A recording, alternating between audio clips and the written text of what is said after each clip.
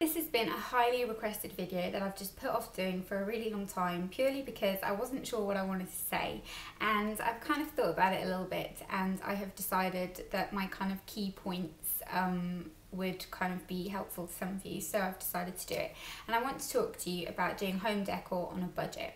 Now I was not ever someone who was majorly into home decor. I kind of found it a little bit boring when I was younger.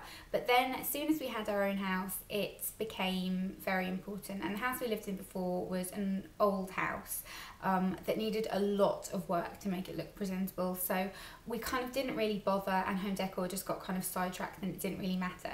Then we moved into this house, which is a lovely, amazing, beautiful house that we're extremely happy with the decor part became more important and we kind of managed to decorate it how we wanted it. It's still not completely finished. There's still things that I want to get and still things that I need to do. Um, but it was something that was really important to me to make it look nice and to make it look like us. And that's what I like. I like homes to have personality and I like to go in someone's house and be able to kind of tell a lot about them.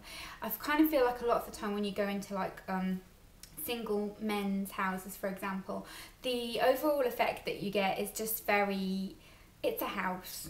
Someone lives in it. It's not very well thought out, and I like that. I like being able to tell something about the person. So, for example, if you come into our house, I think you can tell that I like Marilyn Monroe. I've got a lot of kind of Marilyn artwork um, and kind of vintage um, Audrey Hepburn prints and things like that.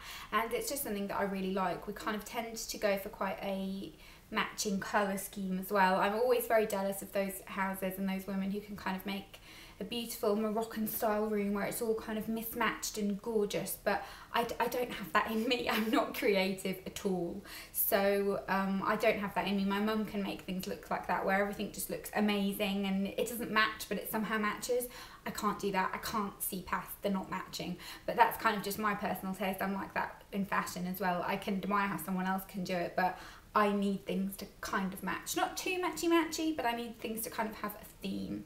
So in this video, I'm just going to kind of talk to you and share a couple of little tips that I've found when we were decorating our house.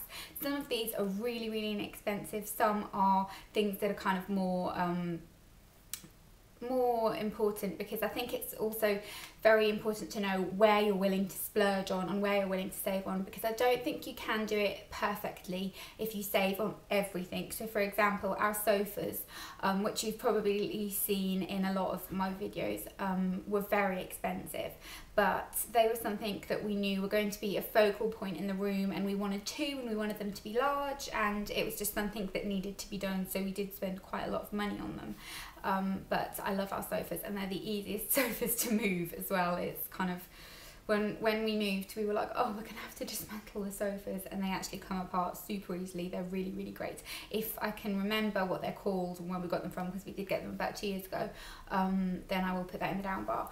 But things like that are important to kind of make the effort with. And things like art for example the Marilyn Monroe canvas that I have in my living room that you'll have seen in a lot of my videos that was from eBay but that was quite expensive. I think it was around a hundred pounds. But then I've got some kind of cute little silly bits of um, paintings and things like that that I've gotten from places like The Range and TK Maxx and just random little corner shops.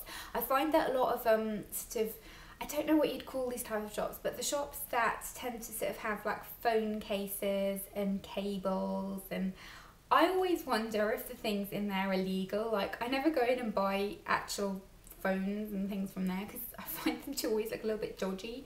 But they do sometimes have like canvases and things, and sometimes they can be like one direction canvases. They seem to be extremely popular in all these types of places, but they will have kind of nice um, celebrity ones and I wouldn't ever like put you know one of Beyonce up on my wall but things like Audrey Hepburn and Marilyn Monroe and things like that I really would because I really like it. I probably would put Sex and the City one if I saw it as well but um, I think my boyfriend would kick me out if I did that.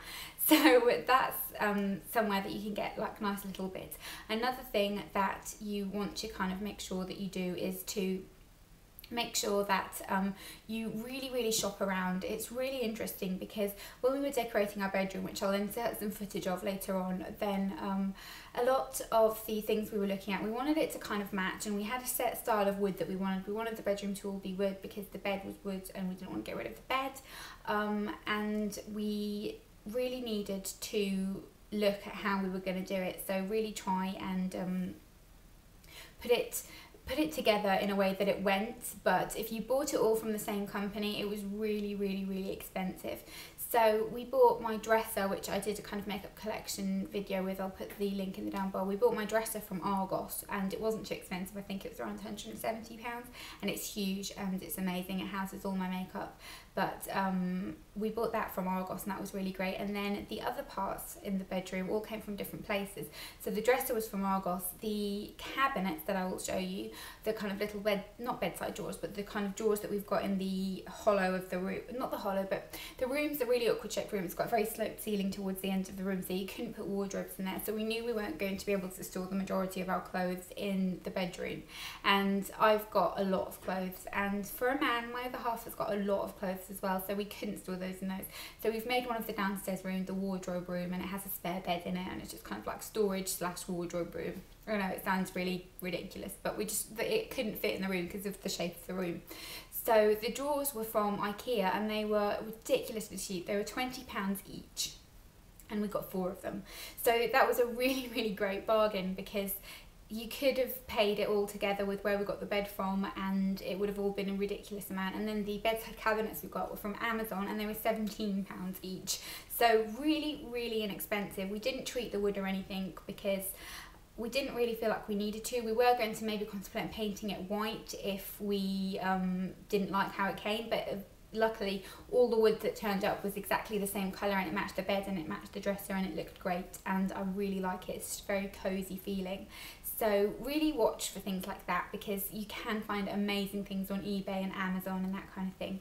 Um, and IKEA is really great. It's really well priced. I haven't been to an IKEA in years and years and years because um, the one that we have near us is kind of it's not in the middle of nowhere, but it's somewhere that we wouldn't ever normally go. So we'd have to go just to go to IKEA, and we haven't done that yet. But we are going to because they have got a little kind of side table that I really want. That I've been eyeing up for ages and it's really cheap in Ikea but if you order it it ends up being loads more expensive. So I'm going to go and buy it from there at some point.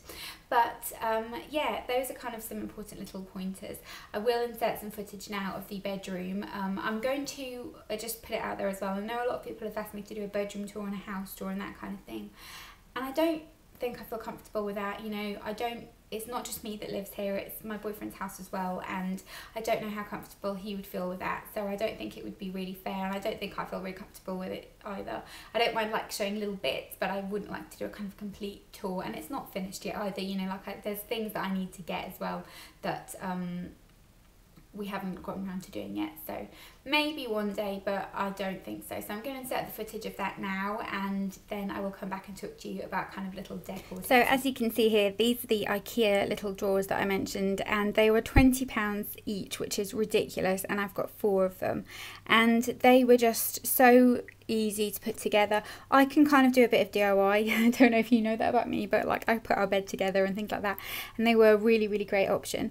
And then the bedside cabinets, which you can see here, They've got all my stuff on, but um, these were really, really inexpensive as well. £17 and from Amazon, and you can see they match perfectly um, and they weren't even from the same place. So it just goes to show that you don't need to kind of worry about it too much because a lot of the time they will go anyway. You just need to kind of make sure that the wood's the same just time kind of cute little decorations that you can put around your house and just cute little bits and bobs. There is a really really great budget option that I like to do and that is visiting your local pound jobs.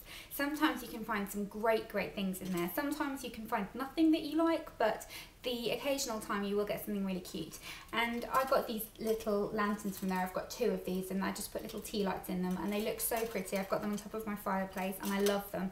I wish I'd gotten more when they had them and then they never had them again. And they're just so cute and so beautiful and they were a pound. Like you can't even you can't say anything about that because it's just amazing. And then this little picture frame was from there as well. And I just think it looks really expensive. I like the kind of um, printed silver and this is my sister when she was dressing up as a ladybird because I thought it was really cute. But things like this are great to get from places like that because you could buy them from more expensive shops but you don't need to. A lot of the time they are all from the same place anyway.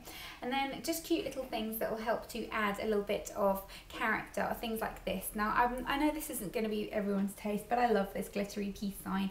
This was actually a Christmas decoration a couple of years ago. I think I got it from Homebase um, but I really like it. I just think it's kind of cute and it goes on my fireplace and it just looks really sweet and I think it was like four pounds or something like that and I just think it's really really cute. And then another thing I got from just a random little local um, card shop I think it was was this little sign and it says new shoes cure the blues. And this oh it's three pounds 95 and it was from somewhere called G store.